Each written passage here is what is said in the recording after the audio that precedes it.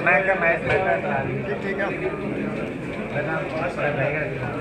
Silent ਕਰ ਲਓ ਦਾਤ ਤਿੱਖਾ ਰੱਖੋ ਹਾਂ ਮੈਂ ਵੈਲਕਮ ਕਰਦਾ ਵਾਹਿਗੁਰੂ ਜੀ ਕਾ ਖਾਲਸਾ ਵਾਹਿਗੁਰੂ ਜੀ ਕੀ ਫਤਿਹ ਅੱਜ ਸ਼੍ਰੋਮਣੀ ਗੁਰਦੁਆਰਾ ਪ੍ਰਬੰਧਕ ਕਮੇਟੀ ਦੀ ਐਗਜ਼ੈਕਟਿਵ ਦੀ ਮੀਟਿੰਗ ਜਿਹੜੀ ਸਾਡੀ ਲਗਭਗ ਮਹੀਨੇ 'ਚ ਇੱਕ ਵਾਰੀ ਹੁੰਦੀ ਆ। ਉਹ ਅੱਜ ਮੀਟਿੰਗ ਹੋਈ ਆ, ਜਿਹਦੇ ਵਿੱਚ ਕੁਝ ਅਸੀਂ ਅਸੀਂ ਜਿਹੜੇ ਅਹਿਮ ਫੈਸਲੇ ਵੀ ਲਏ। ਤਖਤ ਸ੍ਰੀ ਅਕਾਲ ਤਖਤ ਸਾਹਿਬ ਜੀ ਦੇ ਜਥੇਦਾਰ ਸਿੰਘ ਸਾਹਿਬ ਗਿਆਨੀ ਹਰਪ੍ਰੀਤ ਸਿੰਘ ਜੀ ਨੇ ਕਿਉਂਕਿ ਪਿਛਲੇ ਦਸੰਬਰ ਦੇ ਵਿੱਚ ਜਿਹੜਾ ਸੈਂਟਰ ਗਵਰਨਮੈਂਟ ਨੇ ਸਤਿਗੁਰ ਧੰਨ ਸ੍ਰੀ ਗੁਰੂ ਗ੍ਰੰਥ, ਗੁਰੂ ਗੋਬਿੰਦ ਸਿੰਘ ਪਾਤਸ਼ਾਹ ਜੀ ਦੇ ਛੋਟੇ ਸਾਹਿਬਜ਼ਾਦਿਆਂ ਨਾਲ ਸੰਬੰਧਿਤ, ਉਹ ਬਾਲ ਦਿਵਸ ਡਿਕਲੇਅਰ ਕੀਤਾ ਸੀ ਤੇ ਸ਼੍ਰੋਮਣੀ ਕਮੇਟੀ ਨੇ ਤਖਤ ਸ੍ਰੀ ਅਕਾਲ ਤਖਤ ਸਾਹਿਬ ਜੀ ਨੂੰ ਅਪੀਲ ਕੀਤੀ ਸੀ। ਉਹਨਾਂ ਵੱਲੋਂ ਸਾਨੂੰ ਲਿਖ ਕੇ ਆਇਆ ਵੀ ਇਹਦਾ ਨਾਂ ਸਾਹਿਬਜ਼ਾਦੇ ਸ਼ਹਾਦਤ ਦਿਵਸ ਰੱਖਿਆ ਜਾਵੇ। ਉਹ ਅਸੀਂ ਸੈਂਟਰ ਨੂੰ ਨਿਮਰਤਾ ਸਹਿਤ ਬੇਨਤੀ ਵੀ ਕਰਦੇ ਹਾਂ ਤੇ ਨਾਲ ਦੀ ਨਾਲ ਅਪੀਲ ਵੀ ਕਰਦੇ ਹਾਂ ਤੇ ਨਾਲ ਚਿੱਠੀ ਵੀ ਲਿਖ ਕੇ ਭੇਜਾਂਗੇ ਕਿ ਗੁਰਮਤ ਅਨੁਕੂਲ ਜਿਹੜੇ ਫੈਸਲੇ ਕੁਝ ਉਹ ਸਾਡੇ ਆਪਣੇ ਪੈਰੋਗੇਟਿਵ ਦੇ ਵਿੱਚ ਆ, ਉਹ ਸਿੱਖ ਪੰਥ ਦੀ ਰਾਏ ਅਨੁਸਾਰ ਜਿਹੜੇ ਲਏ ਜਾਣੇ ਚਾਹੀਦੇ ਆ। ਤੇ ਇਸ ਕਰਕੇ ਇਹਦਾ ਨਾਂ ਜਿਹੜਾ ਸਹਿਬਜ਼ਾਦੇ ਸ਼ਹਾਦਤ ਦਿਵਸ ਵਜੋਂ ਲਿਖਿਆ ਜਾਵੇ। ਦੂਸਰਾ, ਅੱਜ ਇੱਕ ਅਹਿਮ ਫੈਸਲਾ ਲਿਆ ਸ਼੍ਰੋਮਣੀ ਗੁਰਦੁਆਰਾ ਪ੍ਰਬੰਧਕ ਕਮੇਟੀ ਦੀ ਐਗਜ਼ੈਕਟਿਵ ਵੱਲੋਂ। ਕਿ ਵਿਦੇਸ਼ ਦੇ ਸਿੱਖਾਂ ਦੀ ਇੱਕ ਕੋਆਰਡੀਨੇਟਰ ਕਮੇਟੀ ਜਿਹੜੀ ਐਡਵਾਈਜ਼ਰੀ ਬੋਰਡ ਦੇ ਰੂਪ ਦੇ ਵਿੱਚ ਸ਼੍ਰੋਮਣੀ ਗੁਰਦੁਆਰਾ ਪ੍ਰਬੰਧਕ ਕਮੇਟੀ ਉਹਦਾ ਤੁਰੰਤ ਗਠਨ ਕਰੂਗੀ, ਜਿਹਦੇ ਵਿੱਚ ਵਿਦੇਸ਼ਾਂ 'ਚ ਬੈਠੇ ਸਿੱਖ ਸਾਡੇ ਨਾਲ ਆ ਕੇ ਕਈ ਗੱਲਾਂ ਡਿਸਕਸ ਕਰਦੇ ਆ। ਉਹ ਅਸੀਂ ਫੈਸਲਾ ਲਵਾਂਗੇ 15 ਮੈਂਬਰੀ ਕਰਨੀ ਜਾਂ 20 ਮੈਂਬਰੀ ਕਰਨੀ ਆ। ਉਹ ਅਸੀਂ ਅੱਜ ਤੁਰੰਤ ਫੈਸਲਾ ਲਿਆ ਕਿ ਉਹਨਾਂ ਦਾ ਸਾਡੇ ਨਾਲ ਸਹਿਯੋਗ ਵਿਦੇਸ਼ਾਂ 'ਚੋਂ ਵੀ ਹੋਵੇ ਤੇ ਇੱਥੇ ਵੀ ਆਉਣ ਤੇ ਆ ਕੇ ਉਹ ਆਪਣੇ ਮਸਲੇ ਜਿਹੜੇ ਆ ਉਹ ਬੈਠ ਕੇ ਡਿਸਕਸ ਕਰਨ। ਦੂਸਰਾ, ਸ਼੍ਰੋਮਣੀ ਗੁਰਦੁਆਰਾ ਪ੍ਰਬੰਧਕ ਕਮੇਟੀ ਵੱਲੋਂ ਯਤਨ ਜਾਰੀ ਸੀ ਪਿਛਲੇ ਸਮੇਂ 'ਚ ਕਿ ਵੱਡੇ ਦੇਸ਼ਾਂ ਦੇ ਵਿੱਚ ਭਾਵੇਂ ਗੁਰਦੁਆਰਾ ਸਾਹਿਬਾਨ ਉਹਨਾਂ ਨੇ ਵੱਡੇ ਪੱਧਰ ਤੇ ਬਣਾਇਓ ਆ ਪਰ ਸ਼੍ਰੋਮਣੀ ਗੁਰਦੁਆਰਾ ਪ੍ਰਬੰਧਕ ਕਮੇਟੀ ਵੀ ਆਪਣੇ ਉਹਨਾਂ ਮੁਲਕਾਂ ਦੇ ਵਿੱਚ ਇੱਕ ਇੱਕ ਦੋ ਦੋ ਸਥਾਨ ਬਣਾਉਣ। ਜਿਵੇਂ ਸਾਡਾ ਜੂਬਾ ਸਿਟੀ ਦਾ ਉਹ ਟਾਸਕ ਸਾਡਾ ਹਾਲੇ ਅਧੂਰਾ ਪਿਆ।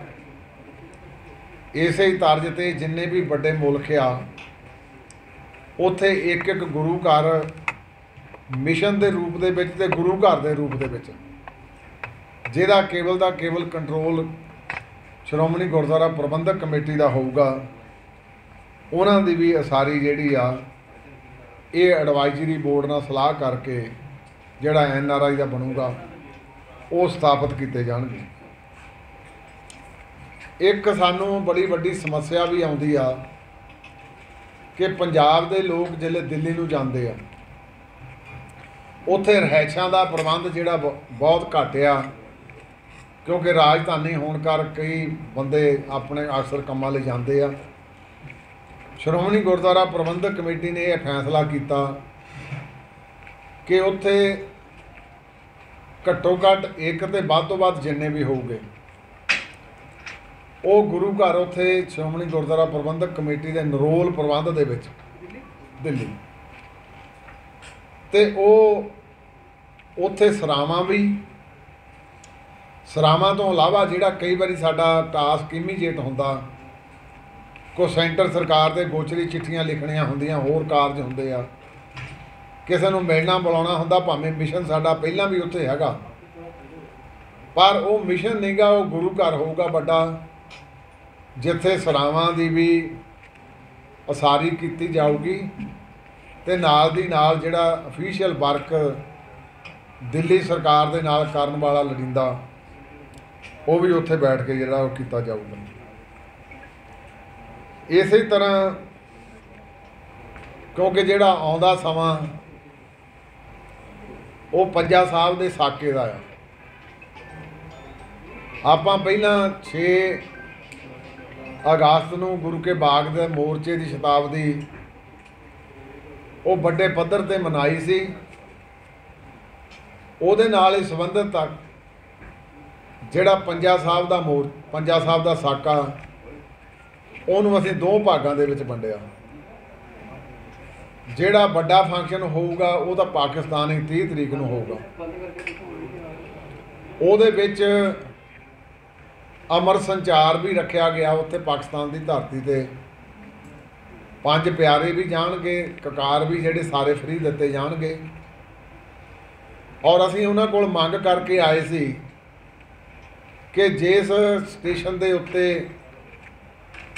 ਇਹ ਜਿਹੜਾ ਸਾਕਾ ਵਾਪਰਿਆ, ਸਾਨੂੰ ਐਡਮਿਨਿਸਟ੍ਰੇਸ਼ਨ ਨਾਲ ਗੱਲ ਕਰਕੇ ਘੰਟਾ ਕੁ ਉੱਥੇ ਉਹ ਜਗ੍ਹਾ ਤੇ ਕੀਰਤਨ ਕਰਨ ਦਾ ਸਾਨੂੰ ਸਮਾਂ ਦਿੱਤਾ ਜਾਵੇ। ਉਹ ਸਾਡੇ ਨਾਲ ਅਵੈਕਿਊ ਆਫੀਸਰ ਜਿਹੜਾ ਉਹਨਾਂ ਦਾ ਚੇਅਰਮੈਨ ਹੈ, ਉਹ ਸਹਿਮਤ ਵੀ ਹੋ ਗਿਆ ਸੀ। ਪਰ ਉਹ ਕਹਿੰਦਾ ਸੀ ਕਿਉਂਕਿ ਸਰਕਾਰ ਨੇ ਕਰਨਾ ਤੇ ਮੈਂ ਸਰਕਾਰ ਦੇ ਨਾਲ ਗੱਲ ਕਰ ਲੂੰਗਾ ਪਰ ਉਹ ਸਾਡੇ ਨਾਲ ਉਹਨੇ ਸਹਿਮਤੀ ਵੀ ਪ੍ਰਗਟਾਈ ਸੀ। ਇੱਕ ਉਹਨਾਂ ਨੇ, ਕਿਉਂਕਿ ਪਾਕਿਸਤਾਨ ਦੇ ਵਿੱਚ ਵੱਡੀਆਂ ਜਾਇਦਾਦਾਂ ਨਨਕਾਣਾ ਸਾਹਿਬ ਦੇ ਨਾਂ ਦੇ ਉੱਤੇ ਆ। ਉੱਥੇ ਉਹਨਾਂ ਨੇ ਇੱਕ ਲਾਇਬ੍ਰੇਰੀ, ਇੱਕ ਸਿੱਖ ਆਰਕੀਵ ਦੇ ਤੌਰ ਦੇ ਉੱਤੇ ਉਹਨੇ ਦੋ ਕਿਹਾ ਸੀ, ਅਸੀਂ ਉੱਥੇ ਨਨਕਾਣਾ ਸਾਹਿਬ ਬਣਾਵਾਂਗੇ।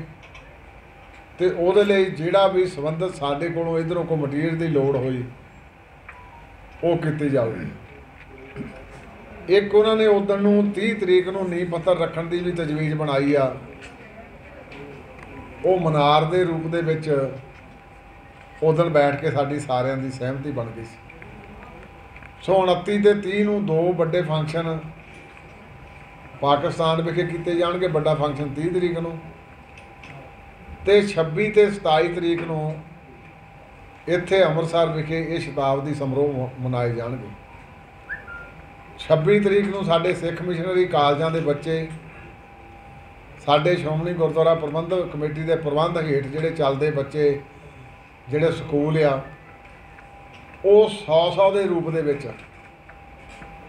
ਇਕੱਠੇ ਸਟੇਜ ਤੇ ਬੈਠ ਕੇ ਕੀਰਤਨ ਕਰਨਗੇ ਤੇ 27 ਤਰੀਕ ਨੂੰ ਵੱਡਾ ਸਮਾਗਮ ਹੋਊਗਾ, ਜਿਹਦੇ ਵਿੱਚ ਗੁਰਮਤ ਦੇ ਵੀ ਸਾਰੇ ਸਮਾਗਮ ਹੋਣਗੇ ਤੇ ਨਾਲ ਦੀ ਨਾਲ ਉੱਥੇ ਜਿਹੜੇ ਸਮਾਗਮ ਤੋਂ ਬਾਅਦ ਇੱਕ ਦੋ ਚਾਰ ਬੁਲਾਰੇ ਜਿਹੜੀ ਕੋਈ ਜਥੇਬੰਦੀਆਂ ਦੇ ਆਉਣਗੇ, ਉਹ ਵੀ ਕੌਮ ਦੇ ਨਾਲ ਆਪਣੀ ਸਾਂਝ ਪਾਉਣਗੇ।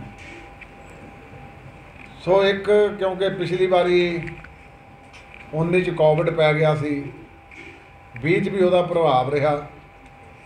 ਪਿਛਲੇ ਸਾਲ ਅਸੀਂ ਮੁਲਾਜ਼ਮਾਂ ਨੂੰ 3% ਡੀਏ ਦਿੱਤਾ ਸੀ। ਉਹਦੇ ਨਾਲ ਅਸੀਂ ਛੋਟੇ ਮੁਲਾਜ਼ਮਾਂ ਨੂੰ ਵੀ 20000 ਤੱਕ 1000 ਰੁਪਏ ਦਾ ਇਨਸੈਂਟਿਵ ਵੱਖਰਾ ਦਿੱਤਾ ਸੀ। 40000 ਤੱਕ 500 ਦਾ ਇਨਸੈਂਟਿਵ ਦਿੱਤਾ ਸੀ।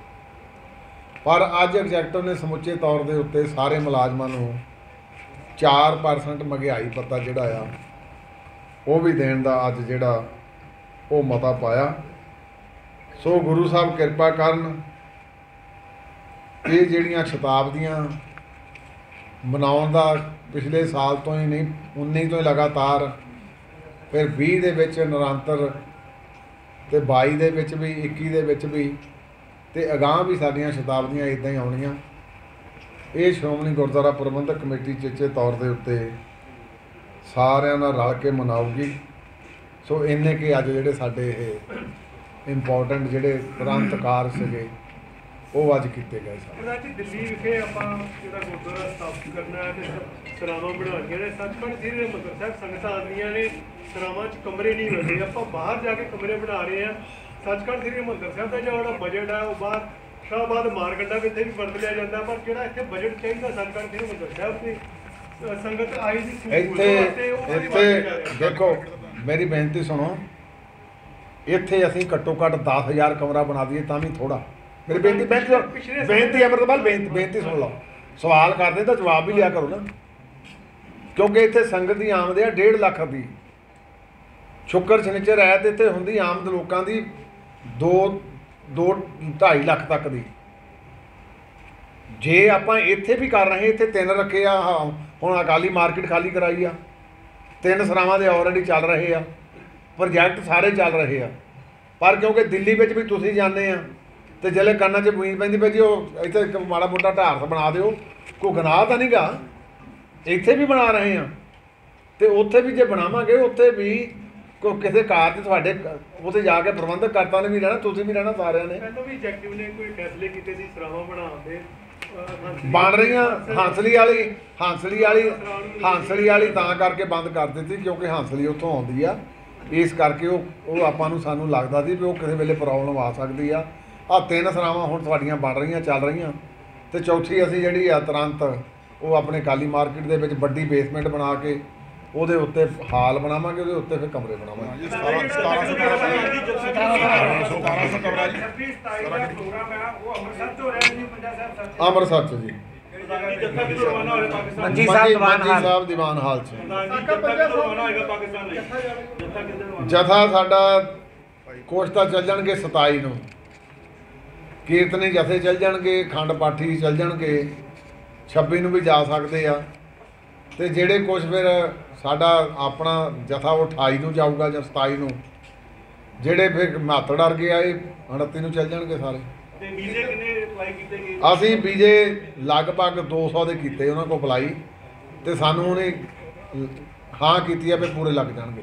ਪ੍ਰਧਾਨ ਜੀ ਇੱਕ ਬੰਦੀ ਸਿੰਘਾਂ ਦੇ ਨਾਲ ਜੁੜਿਆ ਸਵਾਲ ਹੈ। ਲਖਵਿੰਦਰ ਸਿੰਘ ਨਾਰੰਗਵਾਲ ਜੋ ਕਿ ਬੇਅੰਤ ਸਿੰਘ ਦੇ ਕਤਲ ਦੇ ਵਿੱਚ ਅੰਦਰ ਸੀ ਉਹ ਪੈਰੋਲ ਦੇ ਬਾਹਰ ਆਏ। ਉਹ ਕਹਿੰਦੇ ਕਿ ਐਸਜੀਪੀਸੀ ਲੜਾਈ ਤਾਂ ਲੜ ਰਹੀ ਬੰਦੀ ਸਿੰਘਾਂ ਦੀ ਪਰ ਜਿਹੜੇ ਲੋਕ ਬਾਹਰ ਵੀ ਆ ਚੁੱਕੇ ਉਹਨਾਂ ਦਾ ਤਾਂ ਹਾਲੇ ਤੱਕ ਹਾਲ ਨਹੀਂ ਪੁੱਛਿਆ ਗਿਆ।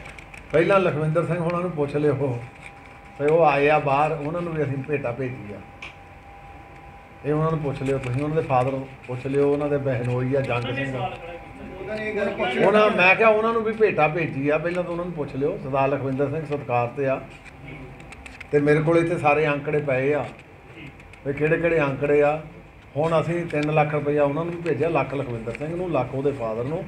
ਲੱਖ ਉਹਦਾ ਬਹਿਨੋਈ ਕਹਿੰਦਾ ਜੀ, ਮੇਰਾ ਵੀ ਖਰਚ ਹੋ ਗਿਆ। ਉਹ ਸਾਡਾ ਮਾਤਾ ਪਿਛਲੀ ਪਿਛਲੀ ਮੀਟਿੰਗ 'ਚ ਹੋ ਗਿਆ ਸੀ। ਇੱਕ ਪਾਕਿਸਤਾਨ ਦੀ ਵੀਡੀਓ ਆਈ ਸੀ ਉੱਥੇ ਬੇਦਬੀ ਦੀ ਕੁਝ ਲੋਕ ਟਿਕਟਾਂ ਲੈ ਕੇ ਜਾਂ ਕੋਈ ਮਤਲਬ ਉਸ ਤਰ੍ਹਾਂ ਕਰਕੇ ਪੱਗਾ ਬਣ ਕੇ ਟਿਕਟਾਂ ਦਾ ਪੀ ਕੇ ਲੈ ਕੇ ਤੇ ਅੰਦਰ ਚਲੀ ਗਈ। ਕਾਫੀ ਵਾਇਰਲ ਹੋਈ ਸੀ ਅਹ, ਸਾਹਿਬ ਦੀ। ਉਸ ਦੇ ਬਾਰੇ ਕੋਈ ਉੱਥੋਂ ਦੀ ਕਮੇਟੀ ਨਾਲ ਜਾਂ ਉੱਥੋਂ ਦੀ ਗਵਰਨਮੈਂਟ ਨਾਲ ਗੱਲਬਾਤ ਕੀਤੀ ਦੇਖੋ ਜਿਹੜੇ ਪ੍ਰਬੰਧ ਆ ਉਹ ਹੈਗੇ ਪਾਕਿਸਤਾਨ ਸਰਕਾਰ ਦੇ। ਸਾਡੀ ਜਿਹੜੀ ਕਮੇਟੀ ਆ ਮੈਂ ਗਿਆ ਉਹਨਾਂ ਕੋਲ ਐਤਕੀ ਉਹਨਾਂ ਨੂੰ ਸਿਰਫ ਗੋਲ ਕਿੱਕ ਖੋਲਦੇ ਆ। ਬਾਕੀ ਸਾਰੇ ਕਿਉਂਕਿ ਵੈਕਿਊ ਬੋਰਡ ਜਿਹੜਾ ਉਹਨਾਂ ਦਾ ਉਹ ਸਾਰੀ ਪ੍ਰਾਪਰਟੀਆਂ ਦੇ ਮਾਮਲੇ ਕਿੱਥੇ ਕੀ ਕਰਨਾ ਸਾਰਾ ਉਹ ਕਰਦੇ ਆ। ਪਰ ਜਿਹੜਾ ਕਾਨੂੰਨ ਦਾ ਪ੍ਰਬੰਧ ਆ ਉਹ ਕਾਨੂੰਨ ਦਾ ਪ੍ਰਬੰਧ ਸਰਕਾਰ ਦੇ ਨਾਲ ਜੁੜਿਆ ਆ। ਪਰ ਉਹ ਸਾਡੇ ਪ੍ਰਧਾਨ ਜਿਹੜੇ ਉੱਥੇ ਭਾਵੇਂ ਸਾਬਕਾ ਆ ਚਾਹੇ ਮੌਜੂਦਾ ਆ ਉਹ ਸਿੱਖਾਂ ਦੀ ਤਰਜਮਾਨੀ ਵੀ ਕਰਦੇ ਤੇ ਇਹਨਾਂ ਮਸਲਿਆਂ ਨੂੰ ਸਰਕਾਰ ਦੇ ਨਾਲ ਚੁੱਕਦੇ ਵੀ। ਅੱਜ ਕੱਲ੍ਹ ਬੀਐਸਪੀ ਇੱਕ ਪ੍ਰਧਾਨ ਜੀ ਹਰਿਆਣਾ ਕਮੇਟੀ ਬਾਰੇ ਰਿਵਿਊ ਪਟੀਸ਼ਨ ਦਾਖਲ ਹੋ ਗਈ। ਉਹ ਹੋ ਜਾਊਗੀ ਜੀ ਤਿਆਰੀ ਤਿਆਰੀ ਆ ਸਾਡੀ ਲੱਗੇ ਹੋਵਾਂ ਉਹਨਾਂ ਦੇ ਜਿਹੜੇ ਵਿਦੇਸ਼ਾਂ 'ਚ ਵਿਦੇਸ਼ਾਂ 'ਚ ਗੁਰਦੁਆਰੇ ਸਥਾਪਿਤ ਕਰਨੇ ਨੇ ਉਹਨਾਂ ਦਾ ਬਜਟ ਕਿਹੜੇ ਪਾਸੇ ਹੋਊਗਾ? ਹੋਈ ਹੈ ਜੀ। ਉਹ ਧਰਮ ਉਹ ਧਰਮ ਧਰਮ ਧਰਮ ਪ੍ਰਚਾਰ 'ਚ ਹੋਊਗਾ। ਉਹ ਸਾਰਾ।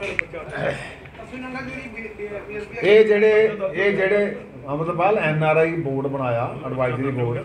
ਉਹਨਾਂ ਦੀ ਇਨਵੋਲਵਮੈਂਟਾਂ ਕਰਾਂਗੇ। ਬਥੇਰੇ ਉਹਨਾਂ ਨੇ ਉਹ ਵੀ ਕਰਨਗੇ ਸਾਰੀਆਂ ਮਦਦਾਂ। ਅਸੀਂ ਵੀ ਯਤਨ ਕਰਾਂਗੇ ਉਹ ਵੀ ਮਦਦ ਕਰਨਗੇ। ਇਹਦੇ ਵਿੱਚ ਐਡਵਾਈਜ਼ਰੀ ਬੋਰਡ ਦੇ ਪ੍ਰਧਾਨ ਜੀ ਕਿਹੜੇ ਕਿਹੜੇ ਮਤਲਬ ਜਿਹੜੇ ਲੋਕ ਇੱਥੇ ਸ਼ਾਮਲ ਪਾ ਉੱਥੋਂ ਲਵਾਂਗੇ ਅਮਰੀਕਾ ਦੇ ਕੈਨੇਡਾ ਦੇ ਇੰਗਲੈਂਡ ਦੇ ਉੱਥੇ ਜਿਹੜੇ ਸ਼ਹਿਰ ਦੇ ਹੈਗੇ ਜਿਹੜੇ ਸ਼੍ਰੋਮਣੀ ਕਮੇਟੀ ਨਾਲ ਕੋਆਪਰੇਸ਼ਨ ਰੱਖਦੇ ਉਹਨਾਂ ਕਰਕੇ। ਇੱਕ ਅਸੀਂ ਉੱਥੇ ਕਰਤਾਰਪੁਰ ਦੀ ਮੰਗ ਰੱਖੀ ਸੀ ਉਹਨਾਂ ਦੇ ਕੋਲ ਵੈਕਿਊ ਬੋਰਡ ਦੇ ਜਿਹੜੇ ਸਾਡੇ ਚੇਅਰਮੈਨ ਆ। ਗਲਾਨੀ ਸਾਹਿਬ ਤੇ ਉਹਨਾਂ ਨੇ ਕਿਹਾ ਸੀ ਅਸੀਂ ਉਹਨਾਂ ਨੂੰ ਕਿਹਾ ਸੀ ਵੀ ਤੁਸੀਂ ਕਰਤਾਰਪੁਰ ਦੀ ਯਾਤਰਾ ਲਈ ਇਕੱਲਾ ਆਧਾਰ ਕਾਰਡ ਹੀ ਅਲਾਉ ਕਰੋ। ਉਹ ਕਹਿੰਦੇ ਸੀ ਅਸੀਂ ਸਰਕਾਰ ਦੇ ਨਾਲ ਉਹ ਜਿਹੜਾ ਆ ਉਹ ਕਰਕੇ ਉਹਦਾ ਹੱਲ ਜਿਹੜਾ ਕੱਢ ਲਵਾਂਗੇ। ਵਾਹਿਗੁਰੂ ਜੀ ਕਾ ਖਾਲਸਾ। ਵਾਹਿਗੁਰੂ ਜੀ ਤੇ